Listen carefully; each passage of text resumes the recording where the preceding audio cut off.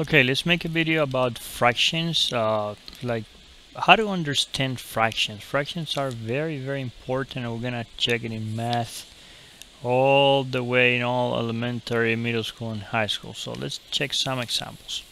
So here I have, uh, this is a whole, one, and this one here writing as a fraction would be 1 over 1 because from one piece I take one. The shaded shaded part is what we take. So here in one half means from two from two parts I have two parts I just take one which is this part here. So it's one over two.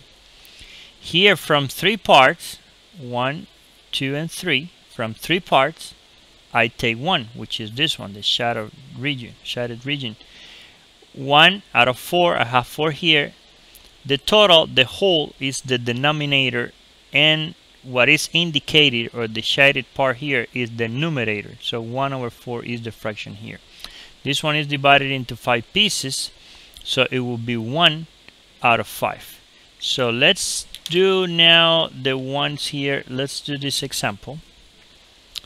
For example here I have divided in 2 and I'm taking both. So divided in 2 it will be over 2 and taking both so it will be 2 over 2 remember 2 over 2 is equal to 1 then here I have two regions selected from 3 so I'm selecting 2 from 3 so 2, 2 over 3 this one is from 4 pieces from 4 parts I select 2 so it's 2 over 4 and if you see here, here that these 2 over 4 match with 1 half over here because this is half of the whole and here is half of the whole. But in this case it's divided into pieces I take 1 but in this case it's divided into 4 pieces and I take 2 here I have 1 2 3 4 5 so I'm selecting 2 that'll be 2 out of 5 and in this case it will be 2 out of 6 so 2 out of 6 okay? And if you look at this one this one looks like match. Of course it match with 1 over 3 because those two parts here if I make a new divisions like this this will be 1 2 and 3 so from 3 parts I select 1 so 2 over 6 and 1 over 3 is um, they are equivalent okay? So it's the same area. Now let's take a look at the different representation.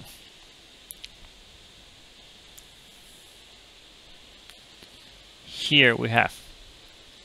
So I have a 1 which is uh, the whole.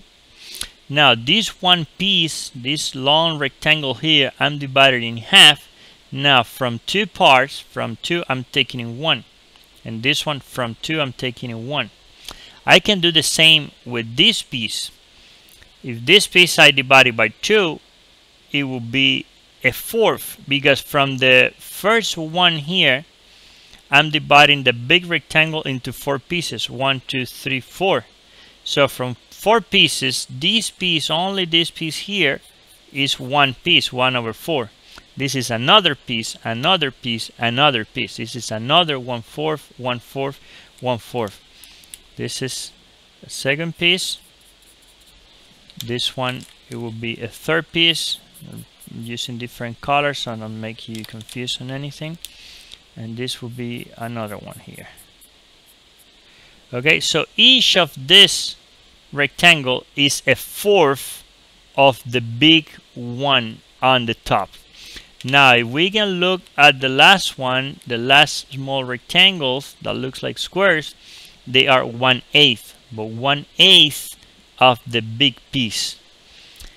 And we can say, and also we're seeing that 1 it's equal 1 half plus 1 half because those two half makes a 1 and those two fourth makes a half and those two eighth make makes a fourth. There are many things we can learn from this uh, box, okay? But for right now, uh, it's okay.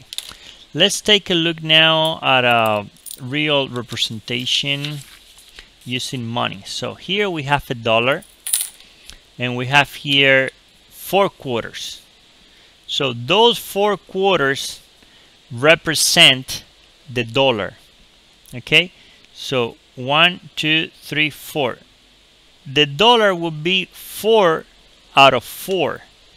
Because to make a dollar we need the fourth quarters. So 4 out of 4 it's equal 1 so 4 divided by 4 is 1 that's why this uh, coin is called a quarter.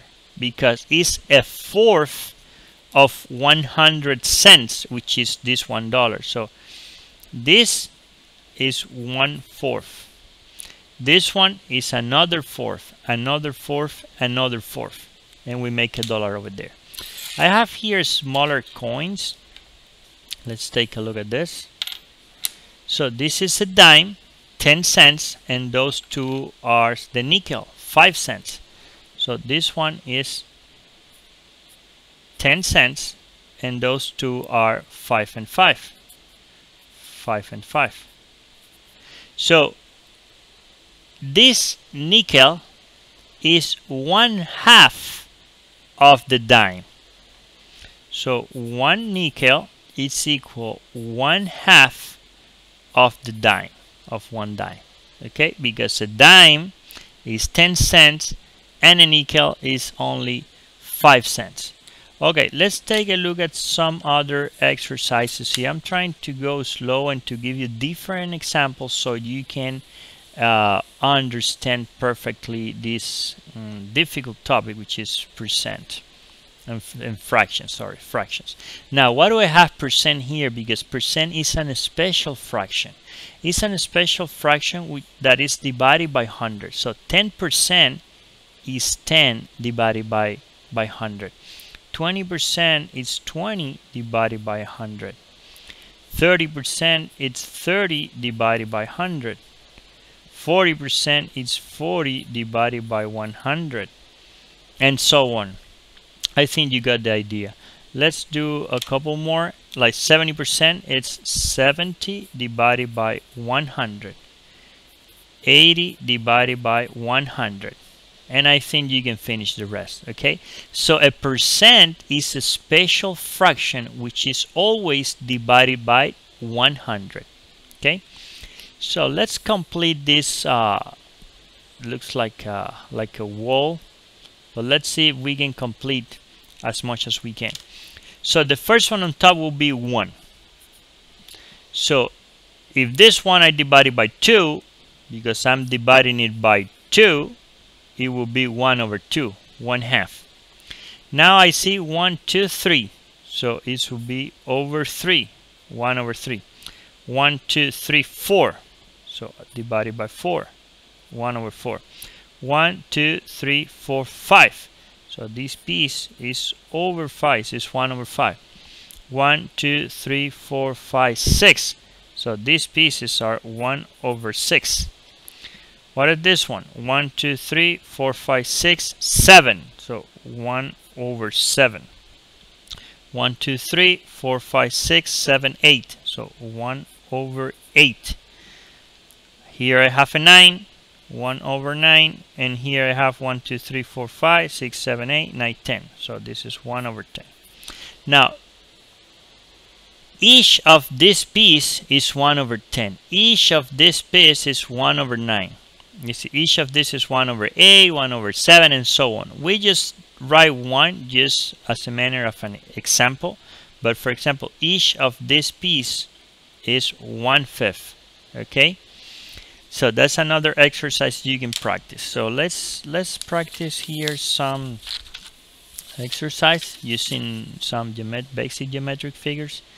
So match the fraction with an area and create your own figure if needed. So here I have four fractions and I have four figures. So let's check the first one. The first one has four part one two three four and just three are shaded okay? So it will be like 3 over 4 3 over 4 is here number 3 so we can put number 3 which is this one or we, we can do a line like this or if you want we just put here 3 over 4 so next one is 3 out of 5 which is this one 3 out of 5 it's number 1 or we put 3 out of 5 that's it. That one here is 4 4 out of 4 so let's go here it's number 2 or we put 4 over 4 depends how you feel better this one here has 1, 2, 3 out of 4. This is another 3 out of 4. Okay? 3 over 4 is this one. This is 3 out of 4. But also this is 3 out of 4. So both are 3 out of 4. Which is also 3. Now I have this 1 over 6. The idea is that you do it by yourself. You just select, just do a rectangle. I think that's the easiest one. And you divide it into three pieces. Three here three here. So that'll be six pieces. One two three four five six. So from six pieces we select one. So it will be this. So this is a representation of 1 over 6 so I hope this video helped you uh, understand the fractions. Uh, let me know in the comments if uh, really help you. This is an introductory video. And you need to understand fractions very very well because then in other grades you're going to start working fractions and um, fractions with variables. But I'm not going to scare you right now. So thank you for watching the video and God bless you. Have a great day